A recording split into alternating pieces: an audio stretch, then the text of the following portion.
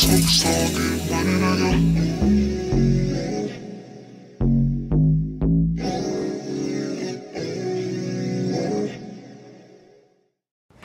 Lindsay Janice here with more. Good morning, Lindsay. Good morning, George. Shots were fired during the dramatic standoff, and it could have ended in tragedy. You're watching a police standoff from an unusual angle. Inside the home, police lobbed tear gas through a window. Hey. Forever on sight, green light go. Posted in the cuts with the white go. Anybody get touched, we don't fight though. When you up against strikes, gotta fight those. Ayy, forever on sight, green light go. Posted in the cuts with the white go. Anybody get touched, we don't fight though. When you up against strikes, gotta fight those. Hell nah, I ain't right like Michael. Since 15, competing for the title. Getting tossed around juvie like a cyclone. Landed up in Chicas, had to go out if the lights on. Five at a time, had me cornered like a python. Back to back, fist fights and handball. Back in my county, felt like Ali in his prime though. Even though some rivals that I say I got my shine on. Hit those prietos like four or five times, dog. Turn 18 to a flight like I'm gone. Sat with piranhas, GBI made my time long. Punk ass seals, hella shady with no light ons. Hungry and I ate, running plays through collect calls. Your bitch looked I finally got home. Hit the set swole, so I had to put it back on. Yeah, I had to put it back on. Yo, what's cracking? Nah, fuck that shit. Nah, we ain't going out like that. On behalf of the team G-Raz, tell the motherfuckers that we ain't going nowhere. It's crime family eternal. Fuck a hostage negotiator. Yeah. You know what? Tell them we said it's forever on sight, motherfucker. Don't, don't get killed when forever on sight, son. Do the drill, really living how I write songs. Fuck a I want the rights if I write songs. I got bills, gotta keep the lights on. So it's real, and I'm out here when the lights I strike like a python, hustle when the lights uh. on. Give a fuck how you feel, that's what I'm on. Hit the walls with pride lungs when I caught my first case. Sign my first deal when the homie snapper escaped. From the streets of rap, watch it snap in the place. Uh. When the best your homie, how I let it clap in his face. Louis V. Kush weed with the nine on my waist. Forever on psycho, psycho. Like no, you know the rest of that. Strapped up with a western hat. Mr. Criminal put it life me, you're on the mat. Forever on psycho, ain't that right, Raz? Turn your music full blast when the night pass until the daylight. You always came tight. Still can't believe we spoke like the same night. Forever on psycho. One of your last requests, so I'ma do my very best to finish up the quest. We fucked the game up, left it all a mess. The whole world knows your name like all the rest. And every time I take a pic and throwing up the west, I can hear you saying, get it, crimes, I can feel your breath. And if I'm next, fuck it. Bury me with the same bandana from my first album cover tucked in. And if I'm next, fuck it. Bury me with the same bandana in the first strap I busted. Long live motherfucking G-Raz. Forever on sight though, homie. I still remember our last conversation, homie. Fuck me up. Had that conversation 30 minutes before you passed. Forever on sight though.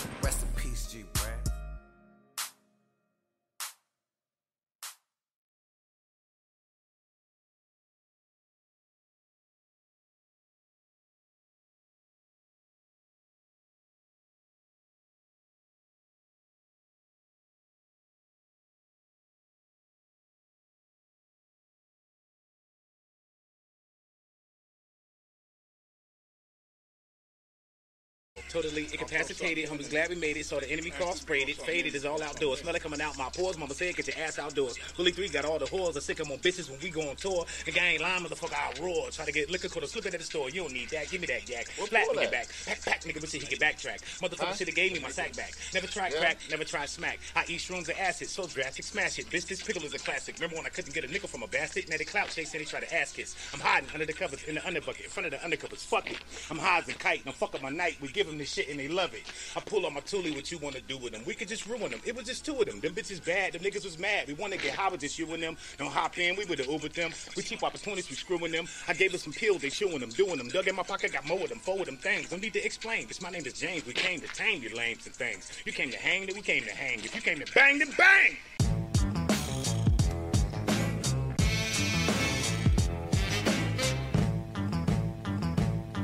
I used to live right down that street, man, on Ozark right there, man.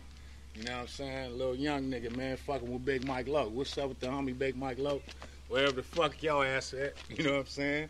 That was my nigga, you know what I'm saying? Back in the day, nigga running up and down these streets, marketing 47th Street, you know what I mean? That was like 86, cuz, 85, 86, you oh, know what I'm saying? Hell yeah. My favorite rapper back then, cuz, was my nigga LL Cool J back in the day, you know what I'm saying?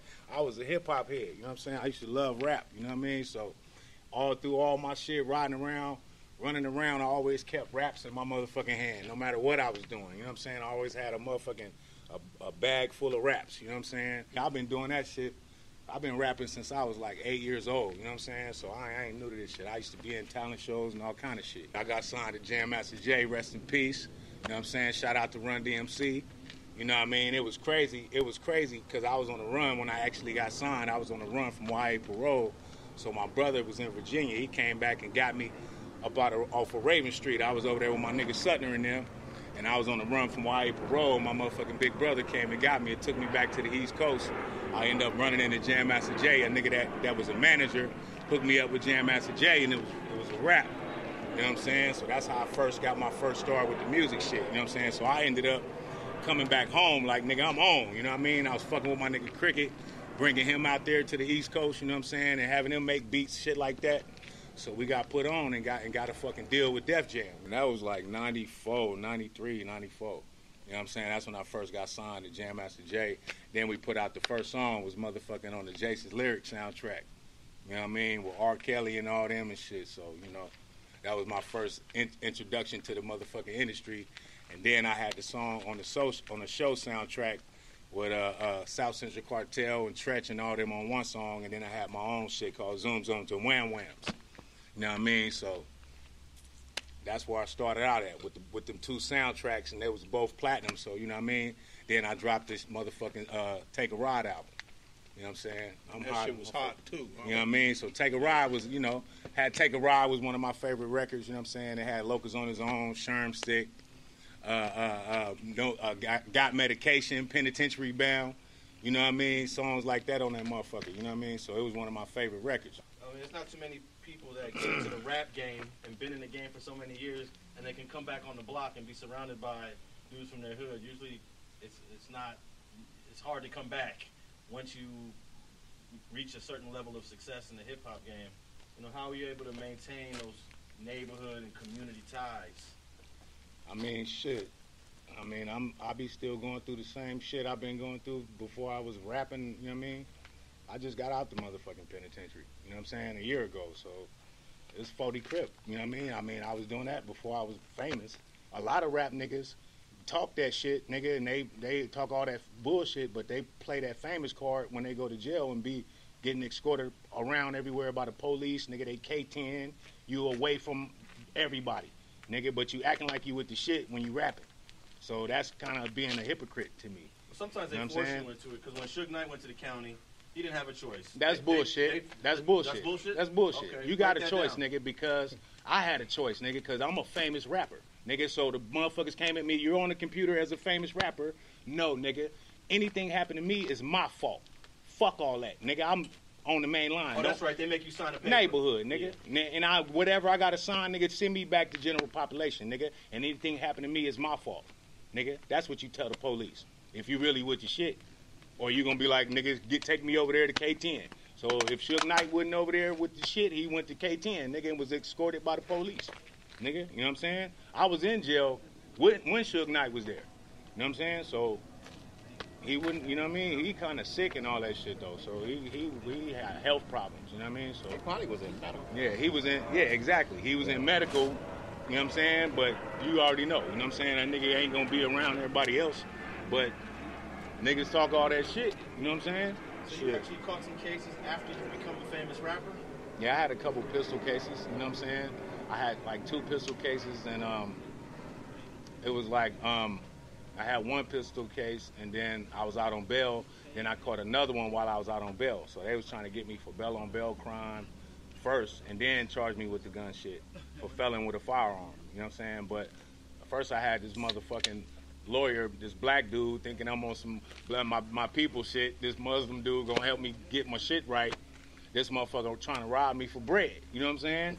So I got to go to the Jewish cats nigga, and clean cut little bullshit up. You know what I'm saying? On some real shit. Nigga, they clean cut up, nigga, got me a deal I couldn't refuse. Nigga, they was friends with the judge. Nigga, got me motherfucking two a half. I took the deal, signed for it, nigga. They let me finish my film I was making with Xzibit, turned myself in, nigga, and got it over with. Ain't asked nobody for shit, nigga. Walked the main line, did my shit, got into a couple squabbles, nigga, and kept it neighborhood 40s, nigga. Now, how did you guys, both of you guys, feel when you when you saw the little homie grinding, making a name for himself in the music business, and actually becoming successful at it? No, oh. let, let me let, let me let you know something on some real shit. Okay. My nigga right here, cuz been going with me to help me get to LA to where nigga I got that respect from everybody. These niggas was riding with me and taking me to the 60s out there. This nigga is not no motherfucking joke, cuz the niggas you talking to. You gotta remember, we was fucking with LA back in the late, probably the early, probably 80, 79. We was going up there because a lot of homies was in Y with a lot of LA niggas, and uh, we they forged them relationships. So we always stayed in touch with them. We used to go fuck with the Broadway. We used to go fuck with every. We used to even fuck with the, the, the Hoovers back then because it was really Crip was still fucking with each other at that time. So who's the It- first one to bridge that gap between you guys and LA? Like, who actually made the first LA connections? Well, my well, our big homie Donnie from Harlem that started this. So we already was going up to Denker Park, going up to Harlem and fucking with them. We already knew a little bit about them and fucking with them. And I know a gang of Harlem. You know, I know James Miller. I know uh, Dino. I know a gang of Harlem. Bob, Big Bob, Little Bob. So I already knew them. I heard James Miller was a beast. Yeah, that was my dog. Me and his birthday the same year. I mean, same day, July 23rd. Whatever happened to him? He uh, killed himself in the pen. They said suicide. That's what they say. Yeah. I think it was foul play. That used to be my buffing partner. You know, I got a, I got a gang of flicks with me and James. They, they call him BJ. Yeah, big BJ. BJ. Yeah, and see him and my homeboy Donnie was partner, and that's another reason why how we, be- you know, they gave Donnie the okay to come down here and start the neighborhood 40s. And a lot of people look at us and if they look at some pictures of us, because we give it up like this, they'll think we from Harlem. You know what I mean? For a long time, so you know, a lot of people were seeing pictures of us and didn't know ex- exactly we was from neighborhood. We from San Diego, and then a lot of niggas used to come down here and fuck with us. The Long Beach the Insanes used to come down here and fuck with us. Dirty Burton, all of them. My homeboy uh, CJ, John Kennedy, that's on death row. All of them used to come down here and fuck with us. So we already had a connection with LA. That ain't nothing. Know, way before the drug gang and all that shit, we was already going to LA fucking dudes. Who was you most excited about working with over the years? Like, take me back to some of the your early collaborations that stand out in your mind. I mean, my collaboration with Snoop was was crazy. You know what I'm saying? Even How'd that come about? Um, it was crazy. Like I, I, I, when I first met Snoop, I was introduced to him by Jam Master Jay. Rest in peace. You know what I'm saying? So I was doing a video called Sherm Stick off of my first album, and Snoop ended up showing up to the video. So that was the first time we linked up. And then at night, I went to a party with Snoop and them, and had motherfucking um, um, what's her name, Left Eye from TLC, and uh, a couple more cats, and we just, you know, that's when we first started kicking it. And then um, uh, me and Kurupt was kicking it with Jam Master Jay. When I remember when Kurupt had the pit bull, we was riding around with him, getting drunk and shit, getting high and shit. You know what I mean? So Jam Master Jay introduced me to a lot of people from, you know what I mean, that era. You know what I mean? Like Snoop and Scarface. He the one. He the one. Uh, actually got me on Scarface first. I mean, uh, the album that first time I worked with Scarface. You know what I mean? But um, um, with me and Snoop with the Got Beef record, we was just chilling one night, and it was a gang of us. And I remember it was uh, one of the homies' birthday, and um, and uh, LT Hutton had this bomb ass beat, and Snoop started making calls like we got one, we got us a hit. You know what I mean? So we went to the studio that night, started airing that motherfucker out. You know what I mean? Shout out to Dog. We finna do some new shit too. You know what I mean? Me and Dog and E40 and Suga Free. You know what I mean? Was there any competition between you as the most popular Crip rapper in San Diego with Mitchy Slick, the most popular Blood rapper? No. No. There's no competition with nobody. Okay. Period. I'm the shit, and that's it. I fucking make the shit happen. God damn it.